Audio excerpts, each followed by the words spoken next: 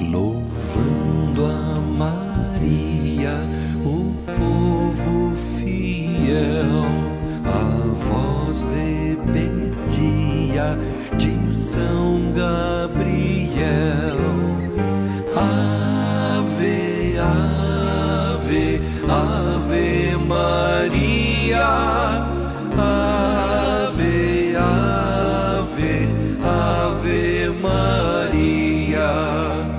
Novena dos Enfermos, a Nossa Senhora de Lourdes, com Dom Carlos José. Um momento de graças, bênçãos, curas e crescimento na fé. São nove dias orando a cada dia por um grupo específico de enfermidades apresentadas com fé por nossas orações a Nossa Senhora de Lourdes, a intercessora dos enfermos. Ave, ave, ave Maria. Ave, ave, ave Maria. O que os santos e papas dizem de Maria? Um dos principais remédios contra o demônio é recorrer à Virgem Maria. São João d'Ávila.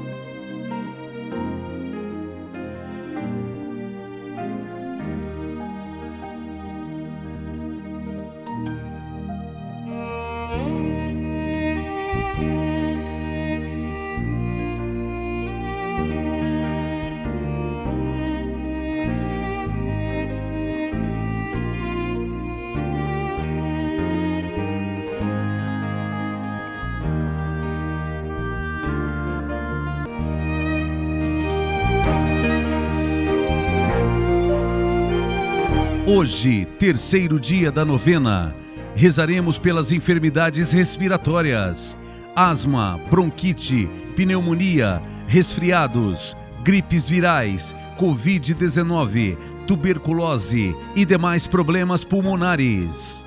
A Palavra de Deus.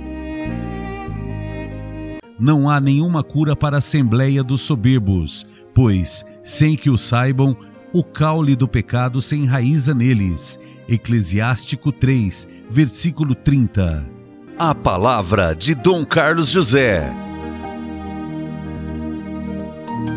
Meu querido irmão, minha querida irmã, não há nenhuma cura para a Assembleia dos Soberbos. Lemos no livro do Eclesiástico.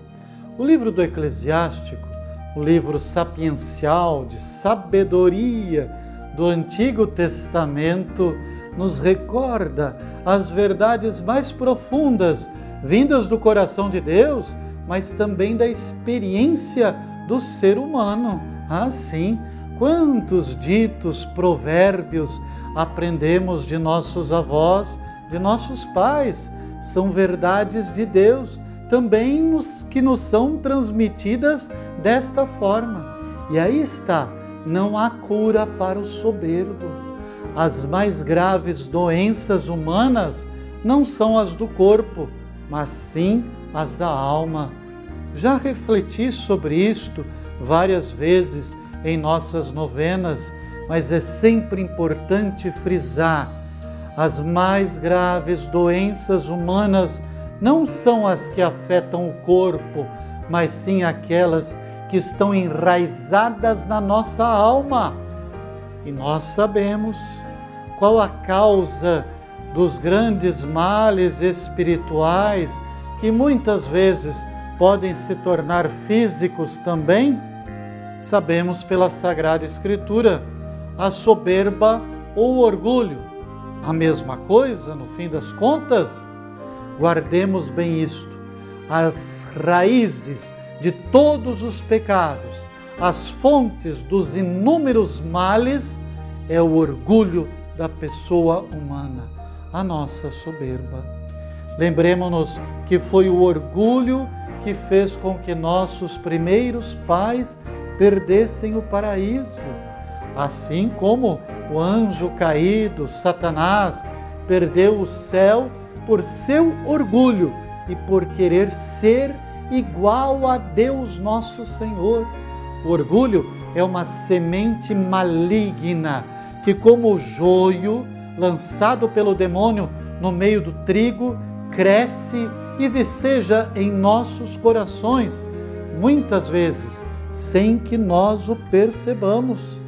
Vamos neste dia, terceiro dia do nosso ciclo novenário, pedir à Virgem Maria, Nossa Senhora de Lourdes, intercessora dos enfermos, que ela arranque com seu poder materno o orgulho enraizado em nossos corações, para que o trigo do amor, da bondade, do perdão e da paciência cresçam dia a dia com mais vigor, fortalecendo assim o nosso espírito e o nosso corpo.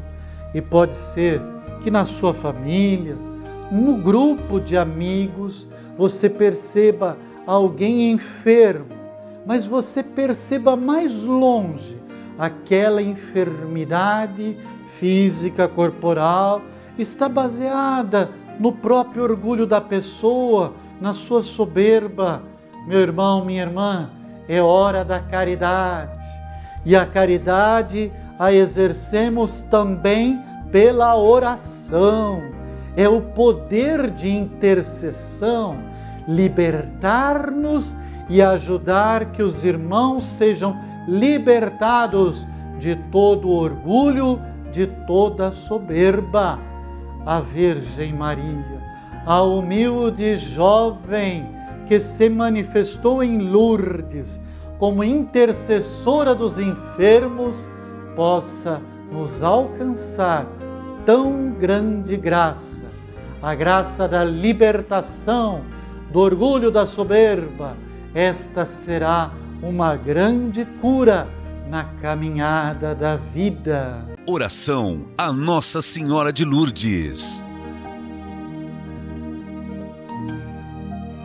Faça comigo agora a oração dos enfermos a Nossa Senhora de Lourdes. Ó Nossa Senhora de Lourdes, Imaculada Conceição, vós alcançastes de Jesus, vosso divino Filho, que a água se transformasse em vinho e Jesus se revelou como a água viva que jorra para a vida eterna. Vós fizestes jorrar água bendita a Bernardete, vossa serva. Fazei jorrar a água abençoada que liberta de toda angústia e desânimo. Fazei jorrar a água que nos dá a saúde do corpo, da alma e da mente. Creio em vossa poderosa intercessão pela intenção que agora vos apresento. Nossa Senhora de Lourdes, pela vossa imaculada conceição, curai os enfermos, sarai suas feridas, libertai os tristes e temerosos. Obrigado ó Senhora de Lourdes, e na certeza do vosso auxílio, peço vossa maternal benção. Amém. Participe de nossa novena. Olá, eu sou a Rose e nesse terceiro ciclo da nossa novena dos enfermos a Nossa Senhora de Lourdes, quero trazer as diversas participações que têm chegado pelo nosso WhatsApp que é o 43 99612 0130. E hoje trago a participação da Daísa dos Reis Rodrigues, que é de Muzambinho, em Minas Gerais, e da Zenilda Barreto de Carvalho, que é de Taguajé, aqui no Paraná. Ela participa da paróquia Nossa Senhora Aparecida e nos diz que está acompanhando a novena dos enfermos, que é muito linda e ela é ouvinte da Rádio Desterro de Santa Fé. Aproveito para mandar um abraço a todos os nossos ouvintes da Rádio Desterro, como também de diversas rádios que estão divulgando essa nossa novena dos enfermos a Nossa Senhora de Lourdes. Faça como elas, nos envie os seus dados, seu pedido de oração, como também o seu testemunho. nos contando as diversas graças que você está recebendo com esta novena. Mande pelo nosso WhatsApp, que é o 43 99612 0130. Eu vou repetir com calma para que você tome nota. É o DDD 43 99612 0130. Eu vou estar aqui aguardando e quero divulgar para que todos saibam onde está chegando essa nossa novena dos enfermos dedicada a Nossa Senhora de Lourdes, que ela é a intercessora dos enfermos. Eu vou repetir aqui o um número do nosso WhatsApp para que você tome nota mais uma vez. É o 43 99612 0130. Vamos rezar juntos essa linda jaculatória com o nosso querido bispo Dom Carlos José e logo em seguida vamos rezar também a bênção final, onde você pode colocar o seu copo com água, como também as fotos das pessoas que você está intercedendo nesta santa novena. Nossa Senhora de Lourdes, Mãe amorosa e clemente, alcançai-me a saúde do corpo, da alma e da mente. Bênção final. Neste dia da novena dos enfermos, a Nossa Senhora de Lourdes, queremos pedir a bênção de Nossa Senhora para você que sofre pelas enfermidades respiratórias, asma, bronquite, pneumonia, gripes virais, resfriados, tuberculose, problemas nos pulmões, o Covid que ainda nos ameaça. Você, de maneira especial, sinta a bênção e a proteção de Nossa Senhora de Lourdes. O Senhor esteja convosco. Deus, que pelo parto da Virgem Maria aclarou as trevas dos tempos passados, ilumine vossas mentes com os raios do sol de justiça. O Pai, que mandou seu Filho como Redentor do mundo, vos conceda reformar-vos interiormente à sua imagem, meditando com grande gratidão os benefícios do Senhor, conformeis para sempre vossa vida com o exemplo da Virgem Maria. Por intercessão de Nossa Senhora de Lourdes, intercessora dos enfermos, abençoe-vos o Deus Todo-Poderoso, o Pai, o Filho e o Espírito Santo. Acabamos de apresentar a novena dos enfermos, a Nossa Senhora de Lourdes, com Dom Carlos José.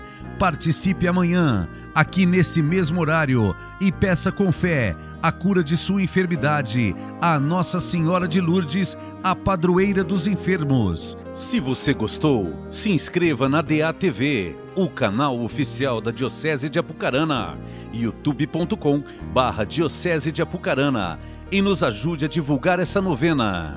Louvando a Maria, o povo fiel, a voz repetia de São Gabriel.